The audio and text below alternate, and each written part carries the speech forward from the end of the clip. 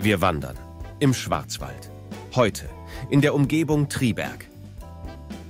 Erste Station. Triberger Wasserfälle. Die Triberger Wasserfälle sind sowohl im Sommer als auch im Winter ein beeindruckendes Ausflugsziel. Die Triberger Wasserfälle gehören mit 163 Meter Fallhöhe und sieben Fallstufen zu Deutschlands höchsten Wasserfällen. Der Naturweg, der Kulturweg sowie der Kaskadenweg führen dich entlang des Naturereignis und informieren auf speziellen Tafeln zusätzlich rund um Tiere, Pflanzen und die Geschichte der Wasserfälle. Erste, weltgrößte, Kuckucksuhr. Die erste weltgrößte Kuckucksuhr befindet sich im Schonacher Untertal im Schwarzwald und wurde von Uhrmacher Josef Dold und seiner Familie in zweijähriger Bauzeit gefertigt. Ihr Uhrwerk ist 3,60 Meter lang, 3,10 Meter hoch und 1 Meter tief.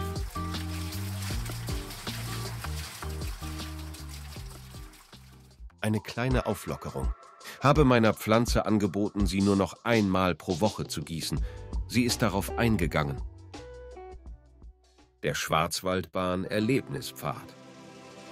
Die Besucher werden auf einer Panoramatour geführt, welche die ereignisreiche und spannende Geschichte der Schwarzwaldbahn im interessantesten Streckenabschnitt anhand anschaulicher Beispiele erzählt und lebendig werden lässt. Auf dem Pfad gibt es noch zahlreiche wundervolle Aussichtspunkte, die dem einen oder anderen die wunderschöne Natur des Schwarzwaldes näher bringen. Auch wenn der Pfad hier und da eine Schweißperle fordert, lohnt sich die Bemühung definitiv.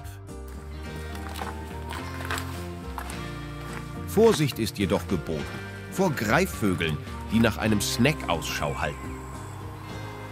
Die essen gern blöde Ziegen und auch sture Böcke.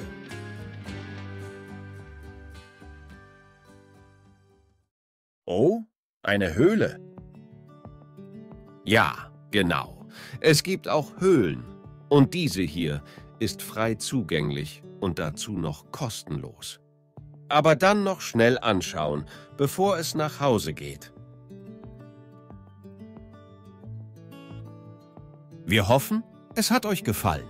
Für heute ist Schluss. Macht's gut und bis zum nächsten Mal.